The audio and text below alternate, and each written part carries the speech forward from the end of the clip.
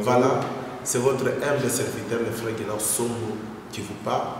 C'est depuis Johannesburg, je suis en train de vous annoncer déjà mon album qui vient euh, pour bientôt, pour Nayesu.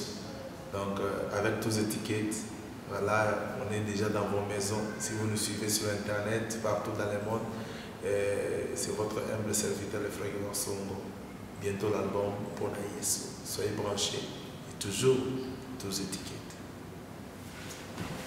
Et si